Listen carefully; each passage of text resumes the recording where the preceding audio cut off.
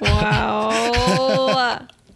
he wasn't recording. We've already done this. Yeah, I wasn't recording. I, I just filmed the entire intro and the the, the sponsor, and I I was recording on the It was camera. his best take yet. but this will be the best best one out of everything, even the ones where the the, the mics aren't recording. Okay, so Okay. um, anyway, welcome to the Against All Odds podcast again. I know you guys haven't seen the first intro, but that's because uh, I wasn't recording. There's always something. I don't think we've ever done this perfectly. We, that's we? why that's why most people with a podcast they have somebody else out there to manage the cameras, to listen to the microphone. You'd think it'd be simple. Just record yourself talking. no, Well, no, he messes it up every single Maybe time. Maybe I'm just really dumb, but it is hard because you have to get both cameras recording all set up. You have to get the microphones recording all good, and you also have to be like, okay, what am I going to talk about, not mess it up and stuff like that. So yeah, you have a lot going that's on. such that that sounds so bad. That's Yeah. so easy. Yeah, that's so I- I'm hard. still struggling. Okay, anyway, Get a real job. welcome to That's the. what they're all thinking. I know. I know, I know. Like, really? I have to. I'm a, a roofer. I roof. I, I make roofs on houses and stuff. Whatever. I don't even know. You do know how a roofer's roof. okay, okay, okay. Let's back up.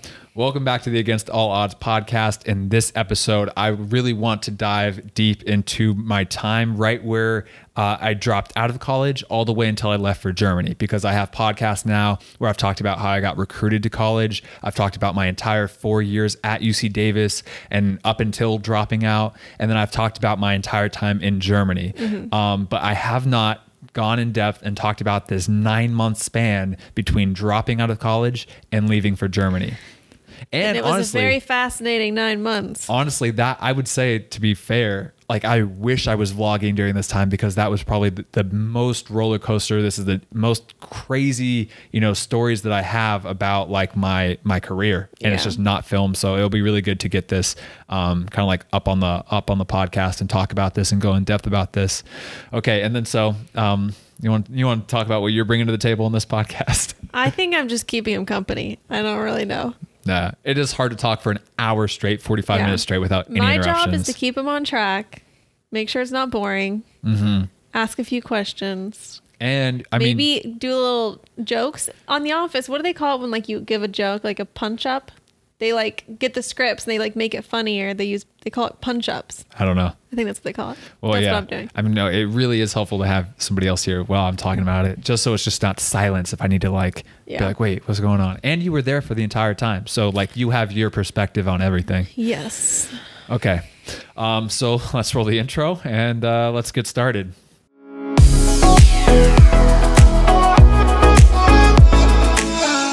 Okay.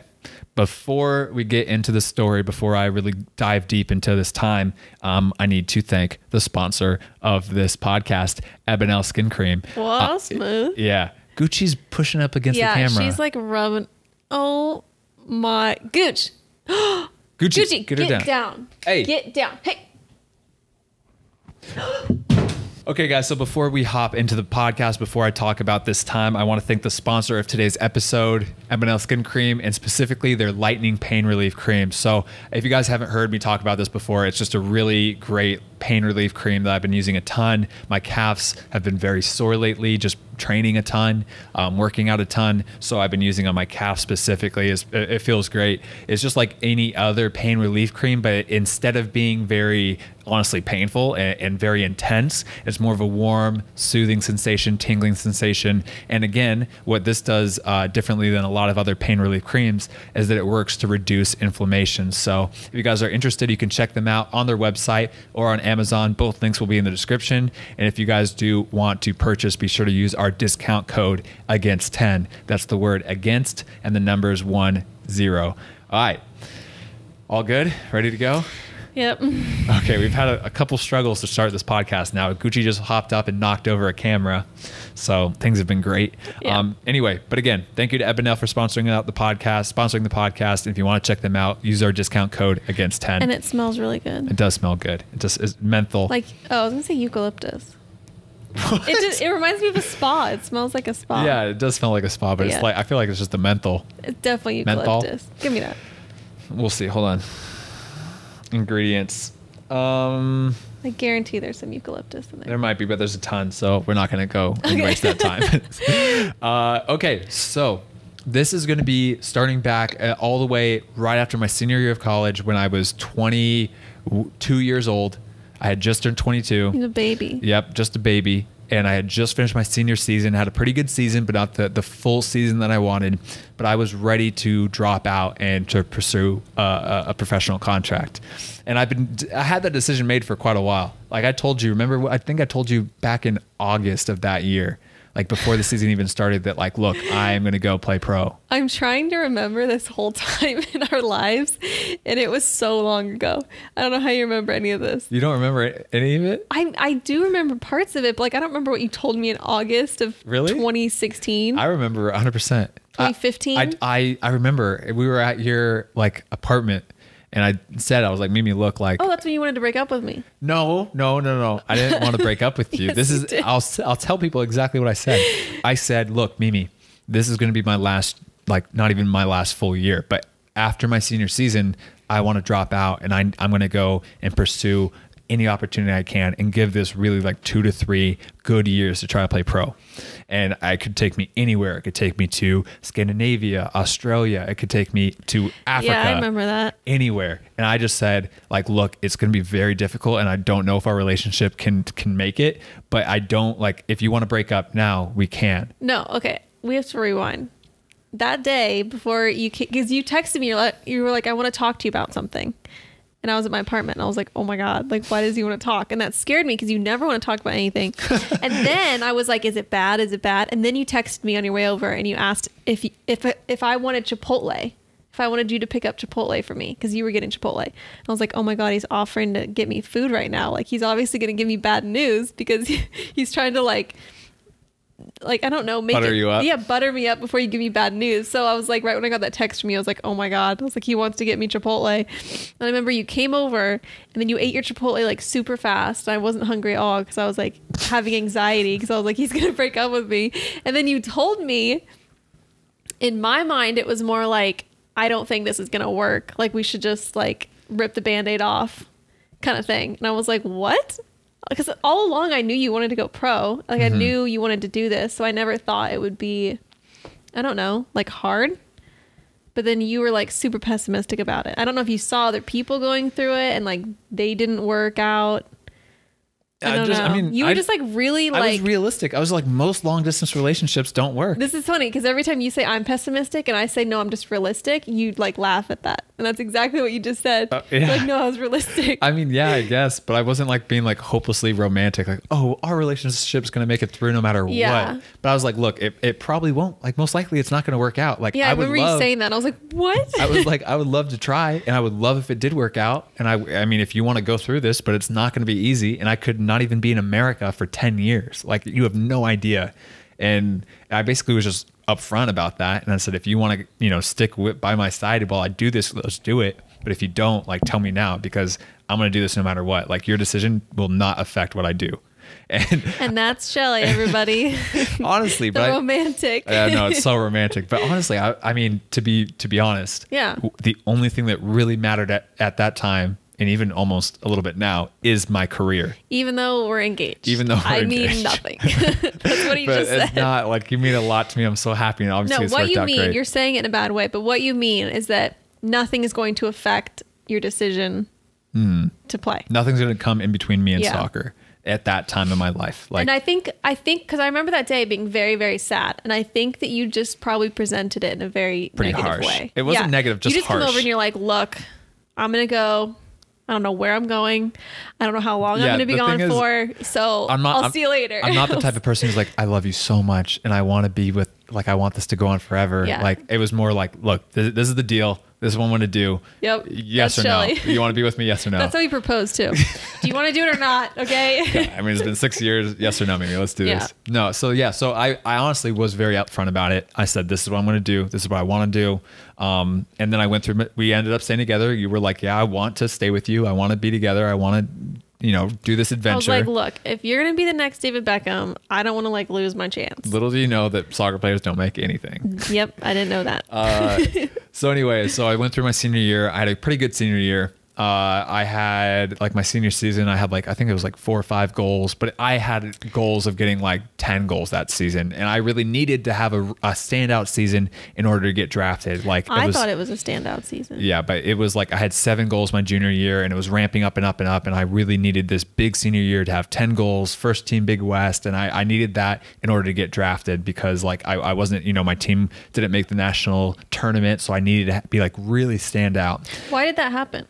Just I mean for I put a lot of pressure on myself. And again like I mean you're not always going to your your seasons aren't always going to be great. Better better better. I mean Cristiano Cristiano Ronaldo and Messi constantly have those but that's why they're the best in the world. They're so consistently continually to get better and better and better. But I mean in the real world it's like uh, you know so many factors are out there and like you can have these goals and aims of having bet the best season yet. And but sometimes you just don't.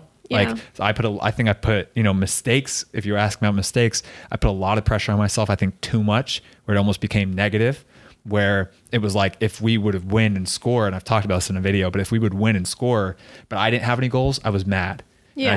I, it was just like kind of like that negative energy. And I don't know. I mean, who knows? Maybe if I was have more positive energy, I could have had an even worse season or whatever, and or put less pressure. It could have been worse.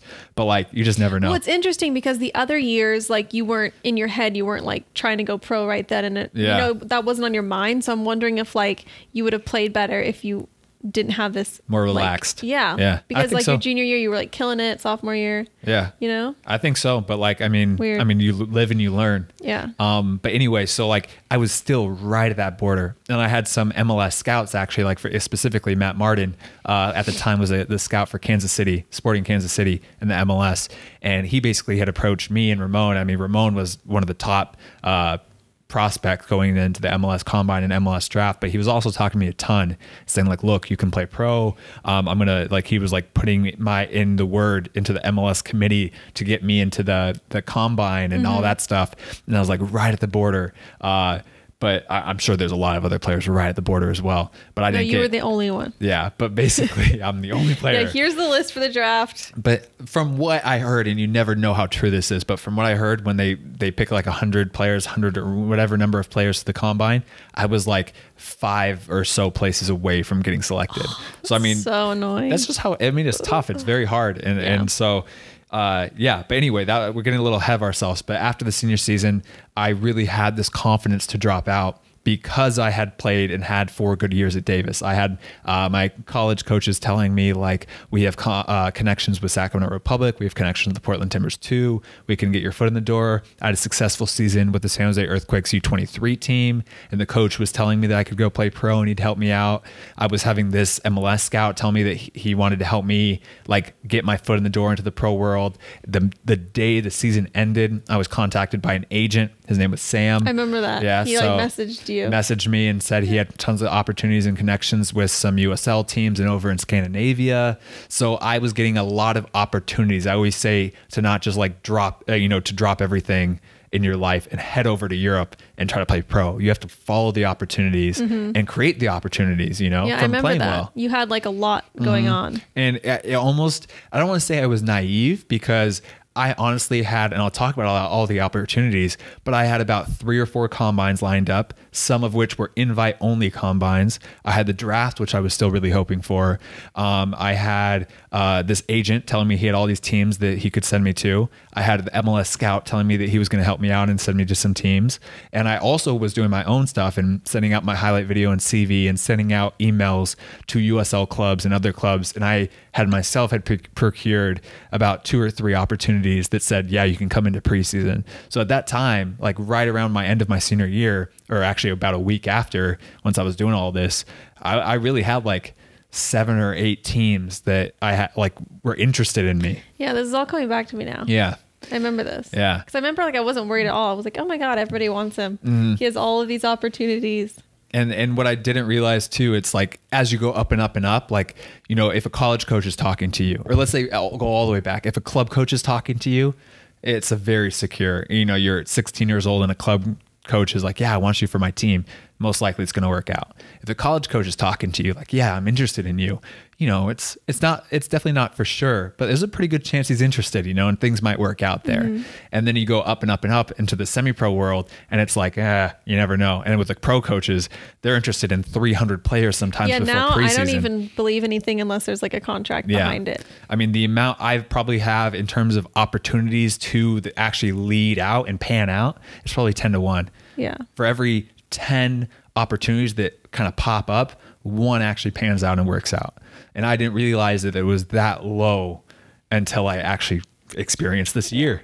So, yeah, I mean, it was definitely a culture shock. But and to go in depth about it, um, I talked about Matt Martin. He said he was from Kansas City, uh, Sporting Kansas City scout. So I was talking with him, um, really, you know, texting or calling him probably like once a week, just like any new I updates. remember you like became best friends with this guy, and I was Mm-hmm. like, where did he come from? Yeah, and I think about a week or two after my season ended, uh, there's just some like exhibition random games for like some semi-pro stuff. It was like off season at that time because it was like November, and the Ventura County Fusion, which was a semi-pro team, was playing against uh, I think it was like a, a Mexican U23 team.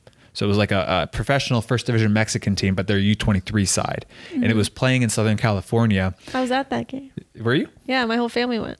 Oh yeah, no, Yeah, you scored like didn't you score like the no, no, no. This is different. end. You weren't at this game. I was at this game. No, no, no. You're thinking of actually playing the Mexican national team. Oh. This is a different This is a game. different one? Mm-hmm. I didn't go. So after no, no, no. So after about a week or two after my season ended, there was this random opportunity down in Southern California, basically Ventura, with the Ventura County Fusion, but it was like more of like a professional game. So they, the Ventura County Fusion was had this opportunity to play a U23 side of a first division team. I, I think it was the Xolos. It was the team Yeah, that the Rubio, Xolos.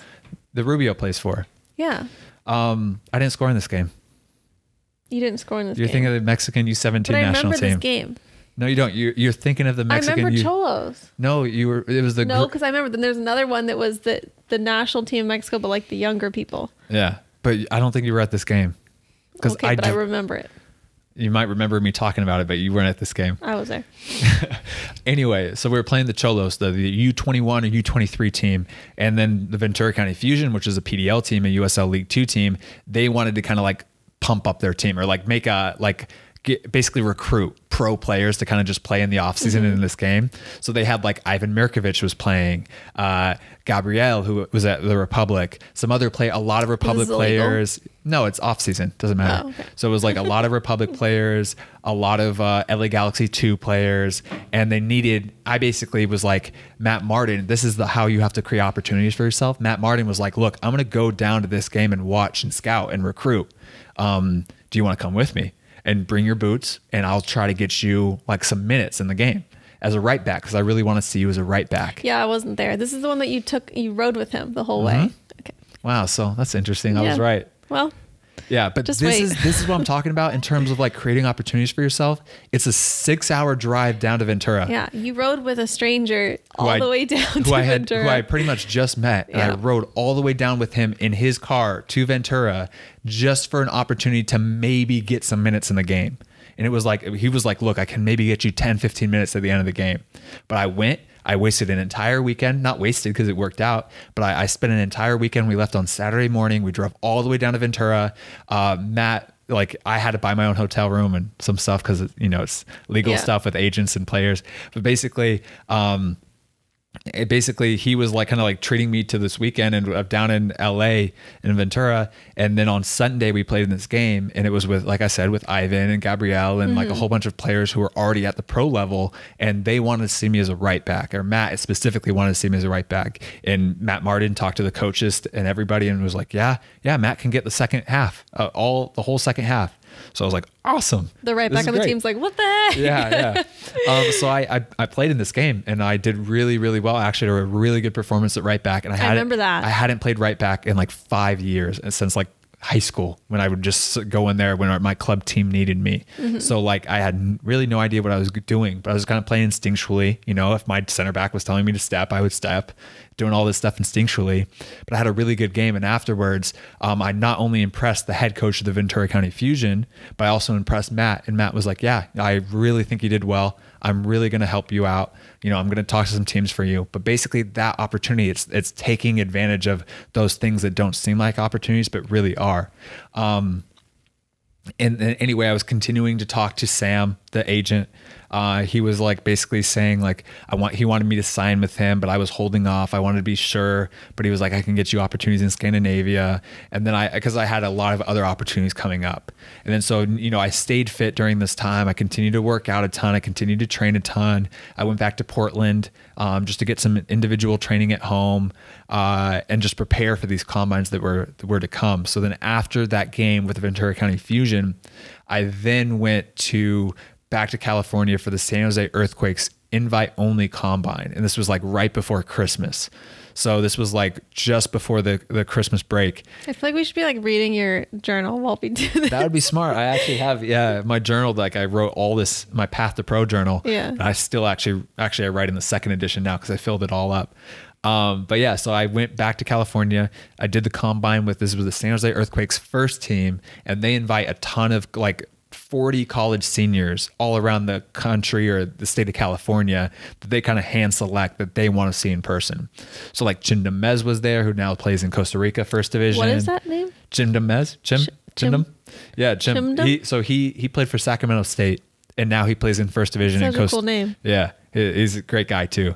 Um, but he now plays in the First Division of, of Costa Rica, and he's been in Costa Rica for three or four years now. Um, and then like uh, Ramon was there as well. So Ramon Martin Del Campo, who now plays for Las Vegas Lights. Uh, a lot of people who senior year that you play against, you know, from guys from USF, from Cal, uh, from San Diego State, from all these teams, even all the way over from West Virginia, Penn State players. So like all these players are there, and it's the best of the best. And you basically play a full combine, 11 v 11 for a weekend, and the co- head coaches of the MLS San Jose Earthquakes team are just there taking notes and stuff. Um, so it's pretty cool. And I think actually from that combine, Chindum, Chim, who now plays in Costa Rica, this guy, he got, uh, I think he got drafted by the Earthquakes. So I, he got an opportunity from that.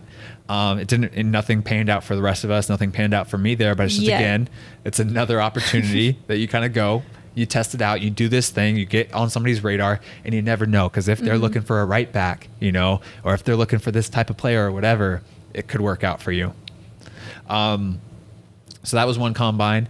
I, I had high hopes again. It's always hard. You go to these things and you're so used to like having success, success, success. But you're starting to realize now at the pro level, you're not getting callbacks instantly. It's not as easy as it Yeah. was to even get a Division One college scholarship, which is very a difficult thing to do. And to get a pro contract, it's even ten times harder. Even to get invited into a preseason is much harder than I was really envisioning it to be.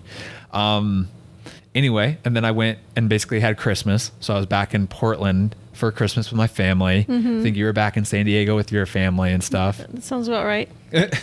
Are you completely lost? Well, where else would I be for Christmas? Yeah. Um, and then it was kind of like, okay, this January was going to be big because that's when the MLS draft is. That's what I was really hoping for. Because even if you don't go to the combine, I didn't get invited to the combine, but if you don't go to the combine, you can still get drafted. You you know they can still draft you and all this stuff. Uh, I put a lot of emphasis in the draft, which really I think I shouldn't have because like it's very important, but most players that even Yeah. were drafted ended up not signing for those respective teams. You know, like Or Cameron. they, they sign, but then they get like moved down. Yeah, a lot. Yeah, a lot of teams will push them down to their their second team in the USL.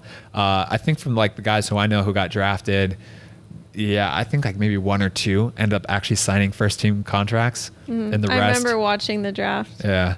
And like Cameron Iwasa, he uh, he got drafted by the Montreal Impact, Mm-hmm. and then ended up with Sacramento. So like that's you know he was there for like a month, and then they I was they released say, him. like, I wonder what the percentage is for people who actually stay and play with the teams they're drafted to. It's 'Cause I feel like a lot of it's just like, Yeah, it's Like, it low, doesn't but like. I don't want to like hate on it, Yeah. being like, "Oh, the draft's stupid," because it creates opportunities. Yeah. It's. It's great for your resume. If you can get drafted, go for it, do it, and pursue it because you know stuff is going to work out. And just having that on your resume that you were drafted will open up more doors in the future. So I don't want to say it's stupid. Yeah, a lot of the guys don't sign for their teams that actually draft them. it's just weird because you'd think like being drafted, you would be, yeah, be signed for getting, a team. being drafted means nothing. Yeah, you know, I've it means it means nothing until you put pen to paper, and a lot of players, or a lot of people don't realize that. Mm-hmm. But yeah, until you put pen to paper, that's when it's real. But yeah, you know, I was at home, I was training by myself, doing all the same type of trainings I was, was doing. Was this the Christmas when you got like snowed in? yes, no, Was that the next one? I mean, I was you're always a little bit snowed in in Portland. Like no, but you were literally snowed in for like ten days or something. No, that was the next one, but or okay. actually a couple ones later before St. Louis. Uh, Okay. So that was like 2016, but this is like going into tw- the year 2015. It's all blending together. I got it all sorted up here. I, yeah, I don't know. Um, but yeah, so I was training by myself, doing a ton of work, staying fit because I just was like my mentality, and it's still my mentality today. And I still think you should have this of you never know when that agent or Matt Martin or one of these teams is going to go, Matt, I have an opportunity for you here. Can you leave today? And you go, and then you need to be game fit. I actually just was talking with Anthony Legendre, one of my old teammates from last year with the Roughnecks, and I was telling him, like, look, even this time with the USL season kind of like hopefully starting back up, there's going to be some players that aren't going to want to play, you know, that just don't Yeah. feel comfortable with their families or newborn babies or whatever. Be 100% game fit right now or as close to game fit as you can be. Is that why he was just doing a bunch of push-ups on his Instagram story? Nah, nah, probably. but he's saying that he's feeling really fit now because you just never know. I mean, all it takes is one team to have both of their left backs or even one left back say, you know what, I'm not going to play this year. And then they need a left back. So, and if he's not game fit, you waste an opportunity. But if you are, it could be, it could lead to your next, uh, next contract. Um, so anyway, going into this next year, the 2015, we're heading into January now of 2015. God, Gucci's Oh my pushing up with the camera. Um, sorry. She's like rubbing her cheek against the lens. Yeah. But we're going into 2015 now, January. So this was like when the combine was happening, when the MLS draft was happening. I had so much motivation to train as well because I was, you know, to be honest, a little jealous of these guys that were at the combine and, and jealous of watching the draft at home and, and kind of feeling that like not hearing your name called and, and feel, getting a little bit of FOMO and feeling a little bit left out because I think that's understandable. I had a lot of friends. I knew a lot of my old teammates that were in the combine and in the drafts. So I was, uh, like, to be honest, like pretty jealous about that. Um, so I was having really good training sessions. And I remember like specific workouts, even like going late at night to go work out and feeling extremely motivated and having some of the best workouts ever because I wanted to prove to myself that I was at the same level of these guys that were at the combine. you wanted the revenge body. A little bit, yeah. But it was all focused around like soccer, soccer, soccer. I want to sign the pro contract. Um, and then uh, the next uh, opportunity I had was actually in Florida. So do you remember this one? Yes, it was the huge combine. Yeah, the InfoSport Combine. Yep. And I don't want to hate on it, but it was the worst combine I've ever been to. A hundred. I like to be honest. Terrible combine. Absolutely terrible. And- Weren't they even the fields bad? Oh yeah, like I and it might I I will say that was back in 2014 in December of 2014 or January of 2015. I think it was January 2015. But and so it's been 5 years now. They could completely restructure it, completely change it. But when I was there, it was absolutely terrible because we played at that. these parks with like then the worst part is they made you feel like it was like very competitive to be selected for the info sport um, because you had to apply for it you had to send in your cv you had to send in your highlight video. It took like a week and they finally got back to you and said yes you have been selected. And then they would tweet you out on their twitter and on their instagram matt sheldon from uc davis selected for the info sport combine and they had a lot of big name players that like just weren't at the level of the the actual mls combine that went like players that had you know played at top D1 schools and you're like wow this is a big deal but then you get there and they only are tweeting out and letting you know of like the top 40 or 50 players So you there's know 400 other. yeah people. and there's 400 there's honestly about 400 to 500 players at this combine and i think there was like one mls coach and there's like 10 or 11 usl coaches there and but like it was just a weird it was a terrible field. You're playing Yeah. with like $20 walmart walmart walmart balls at times. You had players on there that had like the shin guards over the socks and like the basketball shorts that can't have never played a day in their life. Yeah, I remember you like because it was a couple days, wasn't it? it was a it was like a full weekend. It was like friday saturday sunday. Yeah, because I remember like after the first day, you're like, Uh, this isn't going anywhere. Yeah, because there's a diff. I mean, you go into the combine with the. I just had done the San Jose Earthquake Earthquakes MLS combine, like or the invite only combine, where the worst player there was still a successful D1 player. a Yeah. top guy from his school. And the best guy there is somebody who's going to get drafted in the MLS first round, you know? So everybody is like top players. You're you just come from that. You have the entire San Jose Earthquakes coaching staff watching the entire time, you know, talking with you, doing all this stuff. You're getting food after every single day. Uh, you go from that to an open combine where anybody can show up it's just it's hard and it's 400 people now and you're playing with guys who, literally your teammates and you're doing something you pass and then they like it's i don't I, I don't want to sound bad but some of these players were shit. They were absolute shit like had never played before in their life and it's a little frustrating. Why do you think you're going to play pro if you've never played before you know at like a high level? And again it's that's what open trial is. Everybody has an equal opportunity but it is a little frustrating And one thing about that, because I remember at the beginning of like you doing all this, I used to always think like, oh, if you're playing with bad people, then you'll be like really good and you'll stand out. But it's the opposite Mm-hmm. because they're bad, so they can't give you the support that you need in order to be good. Like Yeah. Mm-hmm. you don't get the good passes and crosses and stuff. So you actually can't play well. Yeah, and even defensively, if you if you're a defender and your whole team is terrible and you're just getting wave after wave Yeah. of attack, you're shut out. You're not going to get any shutouts. You're not going to get as much recognition. Mm-hmm. Your team needs to do well in order for you all the individual stuff will be taken care of. Because if you're a forward, even I mean, you, half your you, you're never going to take the ball, or I shouldn't say never. You're rarely going to take the ball from your own half, dribble everybody, and score. It's going to be a combination up, a cross in, or Yeah. a good combination behind for you to score. If you don't have any of those teammates to do that for you, it's much harder for you to show. But I will say, like, I did show, like, obviously any coach there can be like, okay, this guy's a D1 player, this guy's a D1 player, but it, yeah, not that many opportunities. I, I, from what I've heard, and all the other players who you meet there and talk to who are good players and have played pro before, had played uh, PDL or had played college, they were just as frustrated as me. And like, they're like, bro, this is this is rough. And I and there was actually a couple guys who I met. Um, they were even on my team that I had just done with the San Jose Earthquake Combine with, and they were like, "Bro, we literally just came from the Earthquakes Combine, and now we're here." Like what is this? You know like kind of like having that little like defeated kind of sense to it. Uh so yeah that was that was in the beginning of january. So i was there for a weekend in florida. And again, I remember your dad went with you too to that one. like, he's so supportive. Like again i mean you have to buy your own plane ticket all the way to florida from california and your own hotels. And andre brown stayed with me in my same hotel room to try to save money. Yeah. but again i mean you fly into florida buying a hotel room f- flying back it's it's a lot. And again at the same time though i don't want to knock any opportunity because you never know. All it takes is for one of those usl coaches or one of those coaches to be like you know what? I know it's terrible conditions. I know everything but i like this kid. I want this kid to come to preseason with me you know? Mm-hmm. So i if looking back on it i would still go to that combine. I still think you should go if you can afford that. But it's just you know looking back on Just it don't expect much. can't expect much. And I went in there with high expectations, thinking it was going to be very high quality. Um, uh, anyway, oh, the camera just stopped. Let me. Uh, I was gonna say because we're at 28 minutes. okay, so then after the InfoSport Combine, um, Let me guess. Let me guess what's next. well, no, it- I'm going Tennessee. to I'm going to talk about no, way off, so far off, Really? so unbelievably far off. Dang it. But at least it's the same year. You're in the same year, which is good. Um, no, but at this time in January, it's kind of in a little bit of a lull because at that time back in 2015, That was my second guess. Lull. Yeah, and in 2015, the USL seasons, the preseasons aren't even starting up until about March 1st.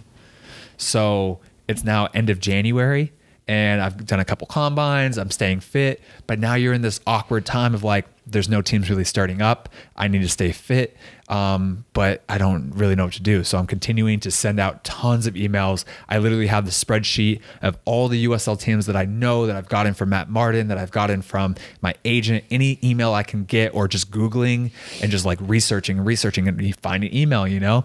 I have this spreadsheet of emails that I've been hit, hitting up, messaging, emailing my CV, highlight video, and trying to get stuff. And actually, from that time, you know, I'm continuing to train, I'm continuing to work out, um, and just sending out emails. I got uh, the Oklahoma City coach. And Matt Martin also sent a recommendation as well to this coach, and he pretty much said, like, yeah, I, we would love to have you in for preseason. Do you remember that? Yeah, what a flake. No, it wasn't a flake. I mean, a pretty crazy situation Yeah, well, happened. I just remember it didn't work out. Yeah, and, and again, like so, basically, the Oklahoma City coach has said, Matt, we are extremely interested in you. We got a glowing recommendation from Matt Martin, the the MLS scout. We would love to have you in for preseason. You know, our preseason starts in end of February, early March. You know, like we're very like personalized and like we've been talking back and forth. Um, so I was like, okay, sweet, that's a backup. You know, You were just destined to come to Oklahoma. yeah, I know. Oklahoma just likes me for some Yeah. reason. Um, and then I also had sent out like uh, I think Sacramento as well. They said the same exact thing. Like they, they, it wasn't as interested, but it was like okay, yeah, we if uh, we would love to have you out for a preseason or to come in on trial. So they basically sent that to me, and that was from like uh, my head coach at Davis, Dwayne Shaffer. He just messaged them and talked to Preki at the time there, and Preki said, "Yeah, Matt can come in on, on trial, or for our preseason, we'll let you know."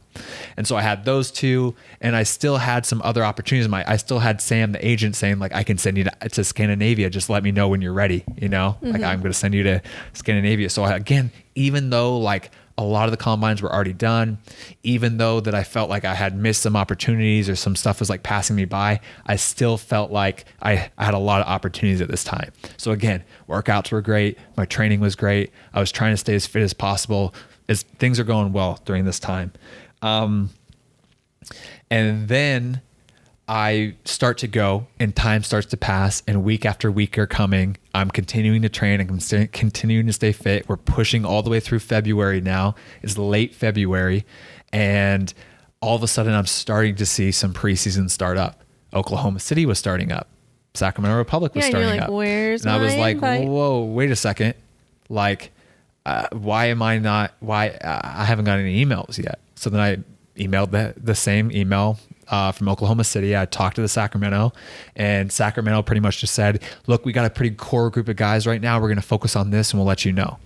And then Oklahoma City had said, uh, like, basically the guy that was recruiting me, he got into some legal trouble back in England.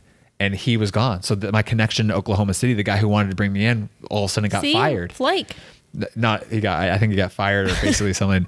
But so it's just crazy how like you're gonna have some opportunities and stuff just doesn't work out for you, you know? And so then all of a sudden I went from having a couple opportunities to nothing. And I remember this panic of like those were my last two kind of opportunities. I don't know what to do. And I still had this agent Sam message me like, "Hey, whenever you're ready, I can, you know, get an opportunity over over for you in Scandinavia." So I messaged him now saying like, "Look, I don't think stuff is really panning out in the USL. Uh, I would love to explore an opportunity over in Scandinavia." And he was like, "Okay, uh, just a second. And he got back to me like a few hours later, and he said, uh, "This was like Thursday." And he says, "Can you buy a ticket to Iceland tomorrow?" Is that Scandinavia? Yeah. That doesn't really count. Okay, it's not. I guess I don't know if it's considered Scandinavia, but Iceland. So literally, it was Thursday, and he said, "Can you buy a ticket to Iceland tomorrow?" And I was like, "Uh, yeah, I think I can do that." And I bought a one-way ticket to Iceland, and this was like February, end of February, like February twenty second, I think, February twenty third of twenty fifteen I remember this. and I flew out there and um it, to the agent's credit everything you know he did he did great I was picked up at the airport by the head coach. The head coach brought me over to a, a hostel. I stayed in a hostel with a few other guys that were on trial as well. Um, everything was pretty good. It was in Reykjavik uh, with Throttur Throttur Reykjavik, I think was the team name. Throttur Reykjavik. They played in the second division of Iceland that year or that season. Um, but what's crazy, so I got in the hostel. I was there. He's like, yeah, a couple trialists will also be joining you as well. Two other ones, uh, a Canadian and American. I'm like, okay, cool. Other English speaking guys I can kind of talk to. And then one of the guys from Penn State, Jordan Tyler, who I had, he was on my team at the InfoSport Combine, just walks in the door. And I was like, whoa, Jordan, what's up? He's like, Matt? And we were on the same weird. team in the InfoSport just to show how small the world is. So we were talking, and then we had another Canadian guy, and we got we all got along really well. Uh, but it was basically us three fighting for like this one spot they had left on Throttur. Classic. And to be honest, to be fair, like I didn't have a good trial at all. This uh, technically it was my first trial as a pro. You know, I've been to combines, I've been to other stuff, but this was my first trial. But see, I think your agent kind of like I feel like his advice to you like got in your head. because I, I don't remember exactly what happened, but Oh, I remember yeah. someone told you like, hey, the coach really likes it when you do this and when people play like this. Yeah. So I feel like you try to play the way that the coach wanted you to play instead of the way that you play. Yeah, And I was you're like, why did they tell you that? You're Like, right. they My- shouldn't have he said, said that. that. he really liked fast, aggressive wingers to Yeah. like with the ball. And this was back when I was still tri- trialing as a winger. And so it's a little true. Like I mean, I mean, I'm the one who messed up. I'm the one who didn't have the best trial. It's all me. But it did a little bit. I was like, Yeah. I was like, I need to kind of like take this guy one on one every single time. Yeah, I don't And think- my feedback yeah. after was like, look, you're a great player. We just thought that you were a little bit too direct, and we Too want aggressive. we wanted a little bit more like European. Let's hold the ball. Let's you know let's rest a little bit. Let's let's play a, a very Scandinavian type of play. I- Again, I don't know if Iceland's con- considered Scandinavian, but We'll find out they play sure. very European. Of like it's in college, super direct, super athletic. Go go go. For if you're not going towards the goal, what are you doing? And here it was like, no, you attack, and how it should be. You attack when you have the opportunity to attack. You Well, hold and you, and you play the right option, but it was hard. I could have told you that. Oh, okay, well, yeah. In hindsight's twenty kidding. I remember this time because I remember I started crying at the gym When? when I was with Danny at the gym because it was when you were in Iceland and we were working out. It was because I was living there and we were at, at Ramble working out and I started crying. And he's like, Why are you crying? I was like, Because Shelly's going to move to Iceland. And he was like, He's like, Look, if Shelly gets signed by Iceland, we'll go to the first game together. Like, we'll both fly out there. And we like made a pact that we would both go to Iceland for your first game, but then you came back. So, big deal. Yeah. And then after that, I learned to like, it like nothing's official until you actually sign Don't something. get too high on the highs. Yeah. Don't get too low on the lows. And I was like Iceland, and it just like hit me when I was working out. I was like, oh my god, That's what I was saying in our pre-talk. I'm like, you don't know where I'm going to end up, so I don't I know. know about. I but don't that know was about the first one that was like far away and and like big and real. Yeah. And now like if you were like, yeah, I'm gonna go to China, I'm like, all right, see ya. Yeah. Because I know that it's not official until it's actually official. So now Mm-hmm. Yeah. I don't care at all. yeah. You can go wherever. Um, but yeah, uh, to talk about that Iceland trial. So yeah, I, I flew in. I flew into Iceland. That was, I think, like one my second or third time outside of the U.S. I've been to Mexico. I've been to Bahamas, but like other than that, like I hadn't really been outside of the U.S. Um, Was- and, and then you hadn't gone to Vancouver yet. That was after, right? that was after. Okay, yeah. yeah. So that was your yeah. That was like one of the first times. Yeah, one of the first, especially playing soccer. You were just a baby. So I was over there by myself. I had a good. I was in a hostel, and I just remember like there was like three. It was February in Iceland, so there's ice everywhere, snow everywhere. It was freezing. Yeah, it was Um, dark. It I was remember dark. your your trial was like it was like dark or something or Well, yeah, it was inside. yeah, it was at night and also inside, but Yeah. like it was freezing, and uh, I remember like there was the sun would rise at about eleven, and it would set at like three. So like there was like four hours of daylight the entire day. Uh, so that was tough, um, especially coming from California. It was a little tough. Uh, but anyway, so I was Yeah. there. Had the coach was great. He was English. Uh, I really felt like I did well. Like I felt like I was one of the top five guys on the team. I thought I had a really good trial, but it, I again, it wasn't like my best trial. I definitely took guys on a little bit too much. I was very direct, still very college style. Um, I should have relaxed a little bit, played simple a few more times, and then gone and attacked when I should have. I think like 80% of the time I had the ball, I was going straight for goal, attacking. It should have been more like 50 50 or, you know, 80 20 the other way. Uh, That's why you always have to play the way that you play. I know. Should listen to your gut. Should listen Uh, to me. listen to your stupid agent. Yeah. Um, but it was good. I mean, like you played, we played outside in the snow. It was freezing. We played in these huge like indoor facilities, which has a full field inside. I got into like two or three exhibition games because I was there for like a week or 2 I think it was like ten days. So I got into a couple exhibition games. I trained with them. You know, every time they would train, I got to explore Reykjavik with some of the guys, um, like Jordan and this other guy from Canada. We went, you know, out one night down into Reykjavik to explore. Uh, when we had the off day the next day, just to ha- to really enjoy the culture, which was awesome. Like. I loved Iceland. It was cold and dark and freezing, Yeah, but I I could go in the see summer. I could see how amazing that country is. And I was actually really bummed I didn't get that opportunity there because uh, I think it's just a cool, it'd be a cool, you know, place to stay and a place to live. I think, I mean, it looked, I really enjoyed it there. Uh, I remember when you were flying back. I, I specifically remember this one text, and you said, like, I've watched the sunrise like three times or something, or sunset, because you to fly back, you just kind of fly right around like the. Oh yeah, it was it was yeah because afterwards I flew back, but I had like a four hour sunset because I was flying along the Arctic yeah, you were like following like the sunset. Yeah, so it was pretty cool. Um, but I was, but I also had like a little moment over in Iceland where I was like getting lonely and like having a little bit of like You're there for ten days. I know that's what I'm saying, and, and well, that was what scared me. Is like the same thing for you of like, oh my Yeah. gosh, she's gonna be in Iceland. I was kind of like, oh my gosh, I'm away from all of We my college friends. simultaneously crying in different parts of I the wasn't world. crying. I wasn't a wuss, but it was all about like I just kind of thinking about like that was when I first really realized that wow, this professional life. I mean, you're kind of just inside, cooped up, away from all your friends Yep. and family. Even now, Yeah, seriously. So can you not kill me? yeah, it was uh, it was definitely a very cool experience, and I definitely I would love to go. I, could- I would love, especially now with my experience, to go back go. and play first division there. Like Oh, that you would be play? They would travel. no, I want to play there. I think that'd be cool. Um, but we'll see. You never know how. Like I said, you follow the opportunities. You don't just be like throw a dart at a map and be like, okay, that's where I'm going. You follow Mm-hmm. the opportunities.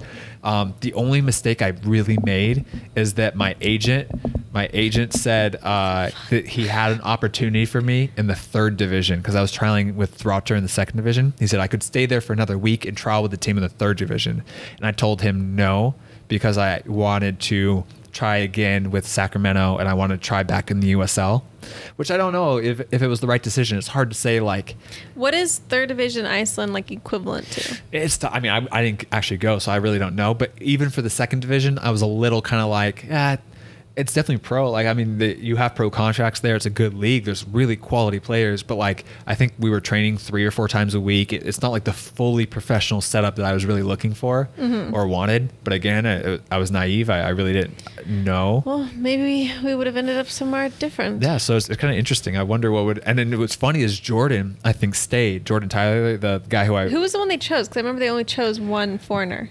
So they actually they two. actually didn't choose any of us. There was a Oh. different foreigner somewhere else. Um, but Jordan stayed, and he went to a third division team, and he ended up playing in Iceland for like two or three years. So I, I followed him on Instagram, like watching Where him play in? Iceland. Well, he tore his ACL. And he was back here. And now I think he was trying. I talked to him actually like a year ago or a few months ago, and he was trying to re-enter back into the USL because I think the USL is a, a better league than I the. bet you would have just ended up in the same place, even Yeah. if you did play. the It's interesting to think about. Um, but anyway, I came back home and I was really set on trying to make it work with Sacramento. And at now I was like, I'll do anything. I'll do open tryouts. I'll do whatever. So I got back home and I signed up for an open tryout, which you pay for, which I know is not high quality, but I paid for one with the Portland Timbers 2. And I paid I for was one. there for that one. You were there. You were actually there for I this one. I was actually there. And I bought one for Vancouver Whitecaps 2. So this was like the first weekend of March and the second weekend of March, I think. So I was Mm-hmm. like back to back. I'm like, okay, this is like my last chance because Sacramento wasn't getting back to me. Oklahoma City had pretty much said they weren't interested anymore after sending me those awesome emails of letting me come in and everything. So I was like, this is my last chance. And then I guess I have to go and play PDL again and then retry again this next year. So I was a, I, I was pretty scared. Um, Portland Timbers 2. You were there. You were up in Portland. Did you just fly up for that weekend or? What weekend was it? It was like beginning of March. It might have been your spring break or something. I was gonna say I thought it was Valentine's Day. No, it was way past Valentine's Day. Spring break. Yeah, I flew there for like I was there for a while. I think you might have just came up for the weekend or something. I don't know. All I remember is that game. Okay. Well, anyway, Mimi, Mimi was there. Why am I here? We played in the uh, Portland Timbers, the Providence Park, Their the stadium. stadium, I remember that. Uh, And and, we- I again, watched. Yeah, it's just again, it was the normal weekend thing. It was like 100, 200 bucks or something. Sign up, and you basically get to try out with a whole bunch of other trialists.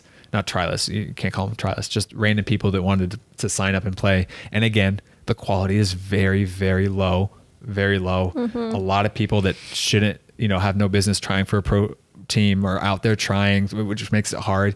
You can stand out, and I felt like pretty obviously there was like three or four guys that probably were right at the professional level or right there, you know.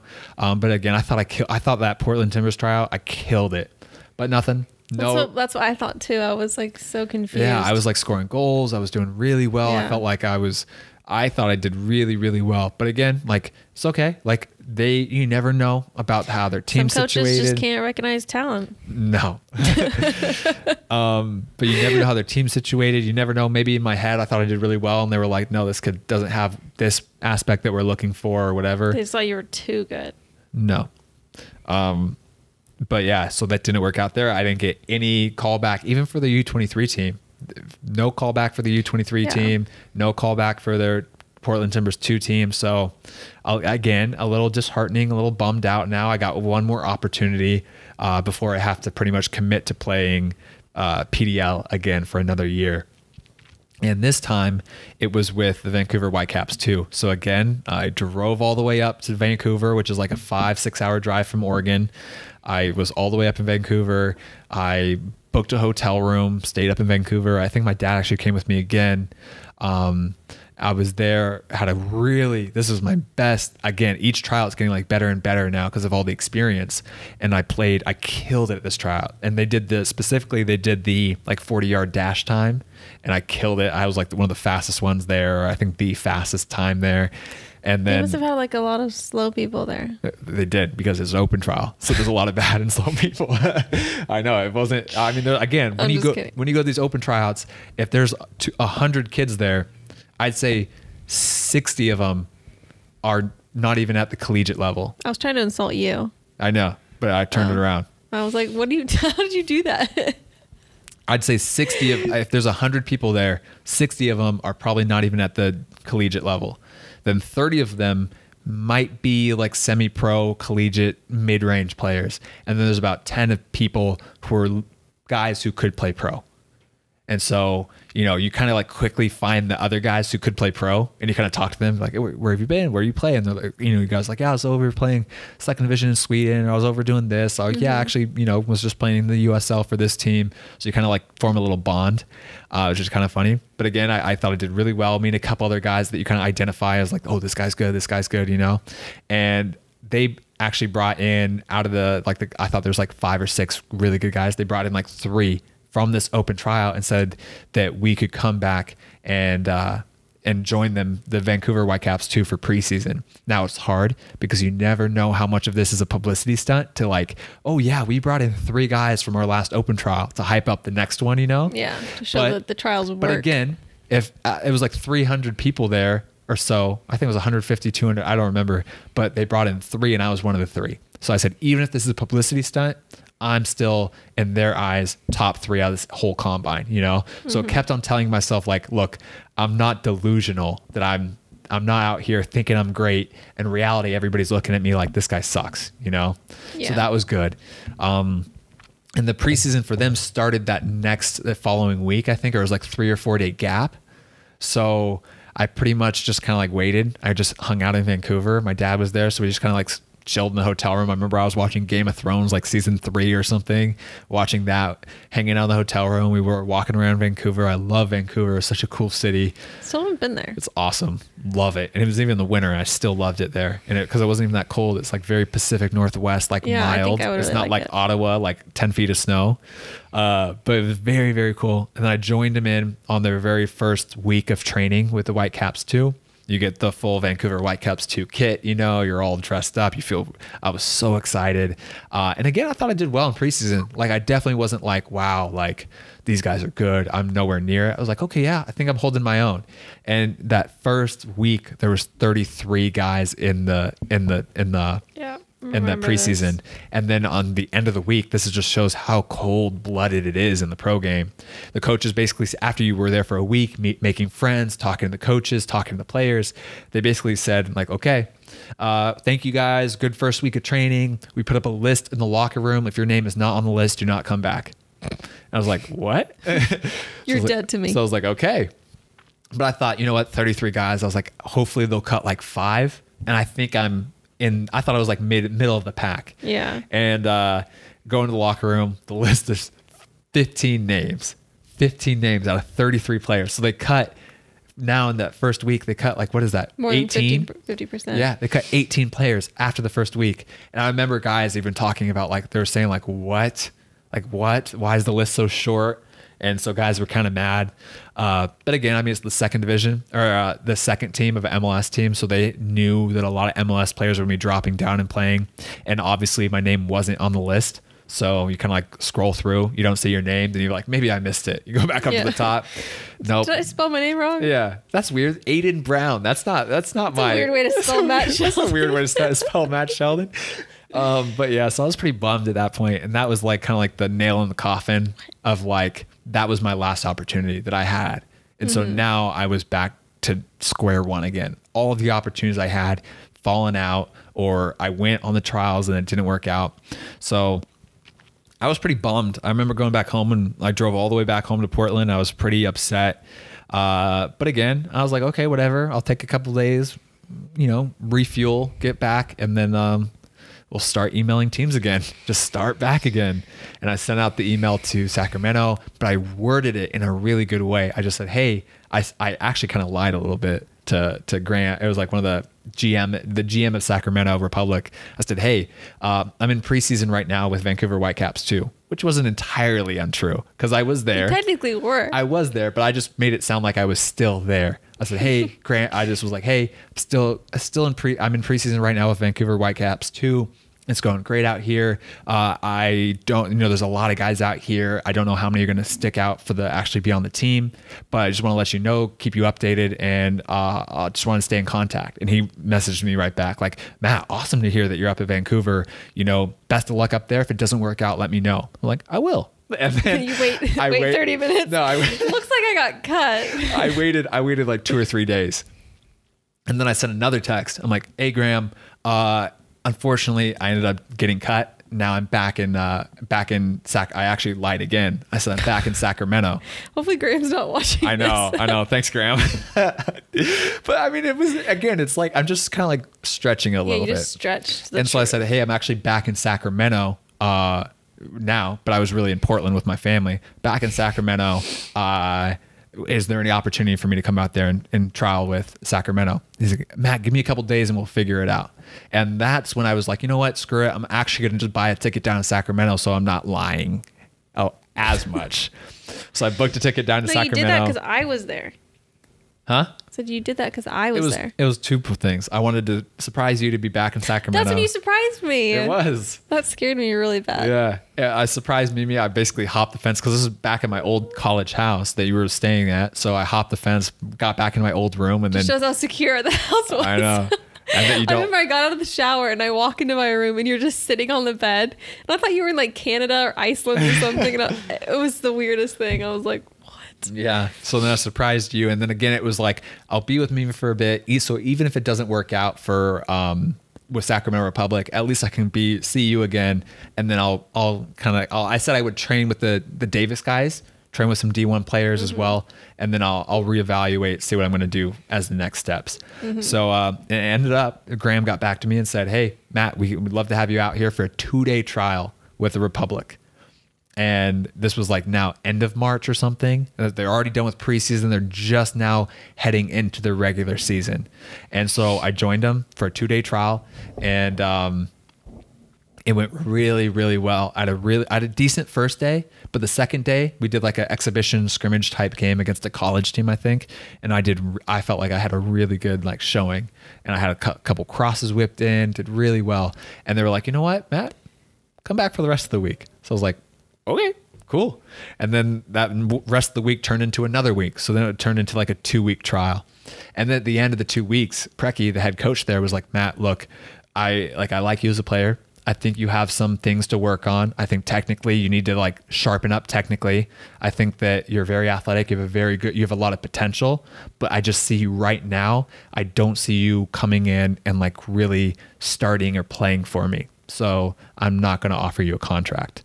And I was like, okay, I, I appreciate the feedback. I'm like, right now, I'm actually just training. I would just be training with Davis guys. Is there any way that I could just come out here and continue to train until I figure out my next step? And he goes, yeah, for sure. Keep coming out. Keep training with us. So I was like, okay. And then, you know, week after week, I kept on coming back out. Uh, and then they, Graham and the guys at the Republic were like, look, if you're going to train with us, we want you to play with our affiliate team, the Ventura, Ventura County Fusion. So their affiliate semi-pro team mm-hmm. was all the way down in Ventura, which is a five and a half, six hour drive along the I-5, all through the middle of California. Where there's nothing. So th- throughout these next three months, from April, May, or actually it was like April, May, June, July. So like those four months, every single Monday through Friday, I would train with the Republic every single day, full professional training. And then after the Friday training, I would go back home to D- to Davis uh, there, read like shower or I would shower at Republic and stuff. But I would get back home, pick up some other stuff, get all ready, and then I would drive five and a half hours all the way down to Ventura. I would stay in the apartments with the Ventura County Fusion guys for that Friday night. Sometimes, or you drive back right after. No, no, no. You're getting ahead of again. Friday game would be Saturday. So Friday night I would stay there.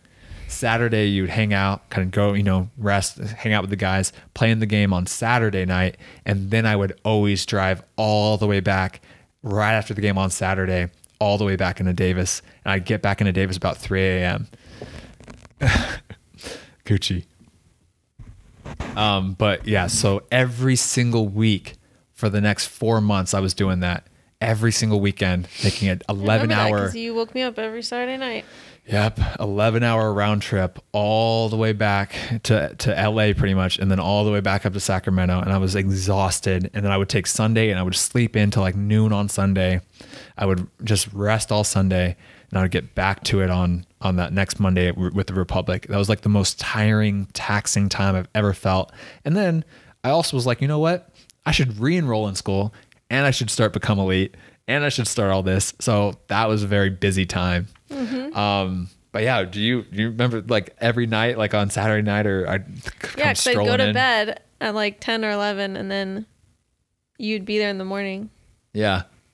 Um, and but then I mean, so many good things came out of it. I really took Preki's advice of like, look, you need to sharpen up technically. So I was doing a ton of technical work. I would go train with Republic, and a lot of the times I would go back to um, Davis, and I would get an, a, a second session where I was just first touch work, passing against a wall, and that's where the idea of like, oh, I should kind of like start to film some of these drills and post it to Instagram, and that's where Become Elite really started and everything Full circle. full circle.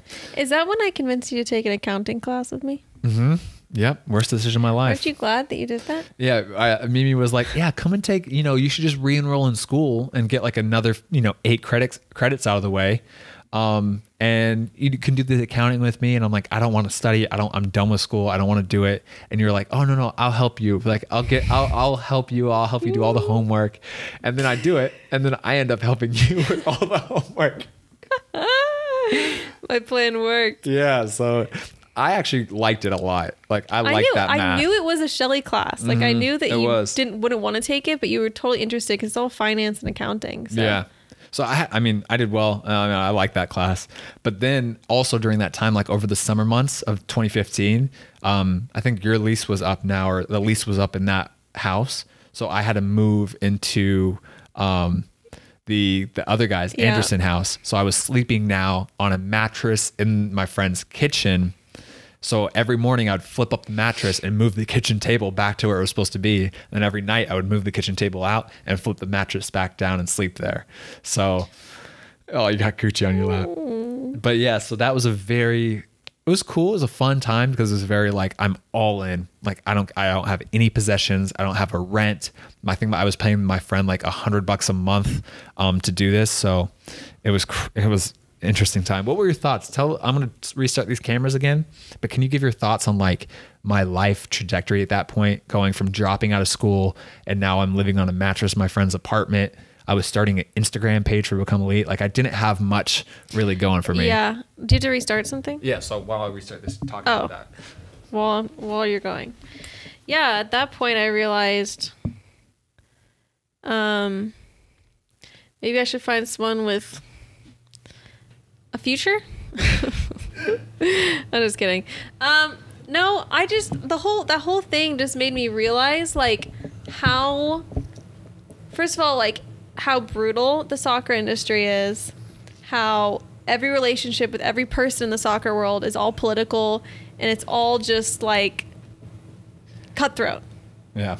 Like you can't have emotions you can't have feelings you just have it's like business that that's like what i learned the most during that time was like soccer is a business Yeah. so i'm like why wouldn't they pick you that's so mean like what's, they have you there for like a couple of days and they just cut you And you're like yeah it's a business like they look at us like assets you know Yeah. and so, um, yeah, I don't know. I I wasn't worried at all. Dur- I mean, it's really hard for me to remember, but I don't think I was worried at all that like you wouldn't find a team.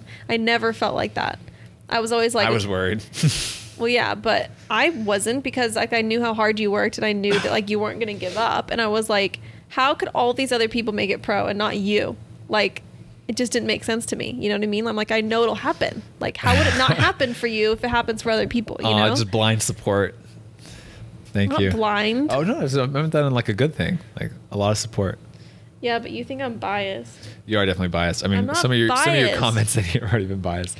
No. Mimi, Mimi's always been very supportive and a little bit biased. Like even points where it's like, okay, another right back might be starting over me. And honestly, like to be 100 percent fair, I'm like, yeah, that right back's No. doing pretty well. I think he should probably start that game like in the week of training. Mimi's always like, no, you're better. No, no, you're better. It actually pisses me off. And I'm like, no, Mimi, he's had a really good couple weeks of training. Like, I honestly, like, unbiased, I think he, I, either of us can start, and I think I have, I'm 100 percent confident in myself. But I think he honestly kind of outperformed me this the last couple weeks. So, but I appreciate, I appreciate the support. You're welcome.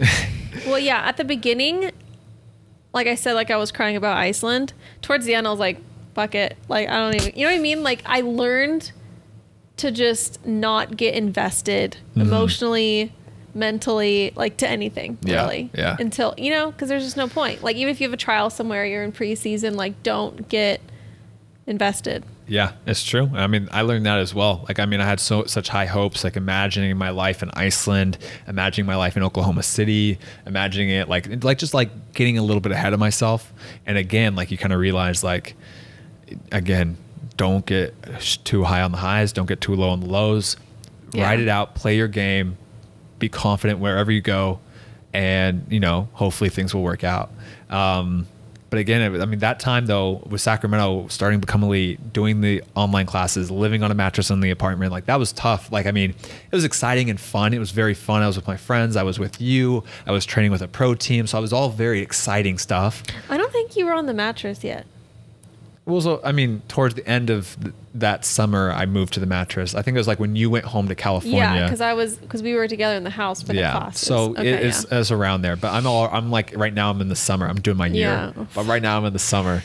Uh, if you guys are the listening, circle, the, circle stupid of the circle. year, of the kill months. me. Um, All right. Well, this podcast has already been over an uh, hour. yeah. Let me sum up. So Um, I want you to sum up without using your hands. Okay. I have noticed in this podcast how much you talk with your hands. I know, I'm such a Gucci hand- follow it too. She thinks you're like playing with her. I'm such a hand talker. I want to see if you can like end the podcast without using I'll, your I'll hands. sit on my I'll sit on my hands. okay. Um, so anyway, uh, yeah, over the summer months now, like I, I've been training every day with the Republic. It is very hard to be a training player. It's very hard to be a practice player with the team because you don't feel like you're part of the team. I never felt like I was part of Sacramento Republic. Aw. It was like nothing to those like the team or anything. Those all the guys were great, so nice to me. I learned a ton, but like you're you really aren't part of the team. I, I wasn't a, a player on the team. I was just a training player that showed up, um, and Just then basically loser. yeah, just a loser. But I did get into one exhibition game. So it was like in July or August, I think we they had one exhibition game, mid-season exhibition game against Atlas, and I got in there. I asked Preki, I was like, "Hey Preki, can I get like 45 minutes? You know, the second half." He's like, "Yeah, yeah, yeah." So I was like, "Oh my god!" and so that was my first time really in a pro setting. That's where I took that photo. Yeah, that's where I got like I The played. In, I played in front of photo. the ten thousand fans. It was a, a very very cool experience. I said, you know what? Even if I never signed somewhere, because I was starting to see how hard it really is and how much harder it was than I thought. But I really was like, at least I got this experience of playing in front of ten thousand fans with the the beat of the drum, like where you can basically feel the bass Yeah. in your chest. You can't even hear your teammate five feet apart. I'm talking with my hands. You can't even hear your See? teammate. I'm going to talk with my head. You can't even hear your teammate five feet away from you. It was a very, very cool experience. And I said, if I never sign pro, at least I got this experience in, you know? Uh, so, so it was cool. And I also played, then a couple weeks later, I played in the game against the U17 national team against Mexico. And that was the game where I scored and did well. And that was in front of like five, 6,000 It was like fans. the buzzer shot. buzzer beater. Yeah, it was like right in the 92nd minute or so. Yeah. Uh, but it was cool. Uh, and so I, I kind of felt like I was getting some cool experience of playing in front of thousands of fans, like not getting paid to play yet, but like right on the verge. And I was like confident with myself. Um, pretty much finished out the summer with Republic. Uh, and then right as they're heading into playoffs, I'm talking to my hands, I can see you looking. But right as I was heading into the playoffs with the Republic, the Preki pretty much came. Actually, it was a new coach, Paul Buckle. And he basically said, look, um, we're going to focus on the guys on the team now. So there's like three other, there's three practice players, three training players. And he said, you guys stop showing up. We really appreciate you. And I basically talked to him after training. I said, um, what are my chances of coming back next year and, and earning a spot on the team? And he said, look, we think you could come back in and join preseason, but we can't offer you a contract right now. And so I said, okay. And that's when I hit up uh, Matt Atencio and my other like mentor, pretty much Marcus Batelt, Batelt, um, who were just like Matt was an old coach of mine, and Marcus was like a new friend that I had met through Matt. And I pretty much said, "Look, I'm I want to go over to Germany." They were kind of like asking me if I was ever, whenever I was ready, whenever I wanted to go over to Germany and pursue that option, that it was there for me. And so once I kind of like exhausted my opportunities in America and exhausted everything I felt like I could get for myself, I said, okay, yeah, I w- let's go over because I knew it was going to be hard to get a visa. I knew it was going to be tough to go abroad. It's always more tough to be international, like I experienced in Iceland. So I kind of knew it was going to be more difficult. But at that point, I was like, look, I'll go in this off season. If it doesn't work out, I'll come back into the U.S. and I'll give the USL another go that next year. Uh, so that's when I, uh, I I was done with the Republic. I left. I went over to Tennessee for a bit to train with Brent Goulet, this, this great coach out there in, in, Nashville, Tennessee. He also had played over in like second division or third division Germany. So he was like helping me, giving me some tips, training me, doing some stuff, and also evaluating me to basically kind of give his input on what level he thought I could play over there.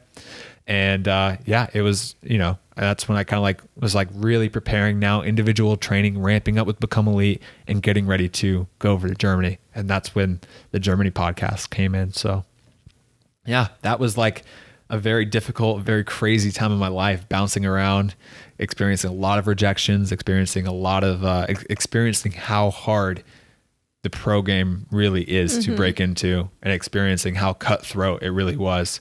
And I think that no one really understands how hard it is even for someone who's uh, done really well at the division 1 college level how tough it is to really make that transition to the pro game. Um, and I think you have to experience it for yourself. Or don't. Or don't. But you know what's f- funny too is sometimes I talk to teammates and their transition from college to the pro game is so easy like, yeah, you know, I, they literally like, for example, like I had one teammate who's like, yeah, I, uh, I had this, I, you know, as soon as my season end, ended, I had an agent like that hit him up, you know, mm-hmm. talk to the agent. Agent's like, yeah, I got a trial for you at Orange County Blues. And then he goes to Orange County Blues for preseason and they sign him. I'm like, dang, like that it's, I wish my path was that, that easy, but at the same time, I think all that struggle also really helped a lot. Mm-hmm. All right. Well, thanks for sitting and listening to me talk to me. I appreciate it. um, is there anything like that you remember from that time or anything else you want to add into it or you, you done with the podcast? You want to move on? want to move on. Okay. Well, thank you guys very much for listening. Once again, thank you to Ebanel Skincare for sponsoring this episode of the down. podcast. Oops, it's upside down. For sponsoring this episode of the podcast. If you guys are interested, once again, use the our discount code against 10. That's the number one and zero uh, for a little discount from your order. Other than that, thanks for listening to me talk. I hope you guys learned something or hope that gave you some good insight into that step that I went from college to the pro game. And uh, yeah, thank you for listening. Anything else? Nope. Hi, guys. See you in the next one. Peace. Peace.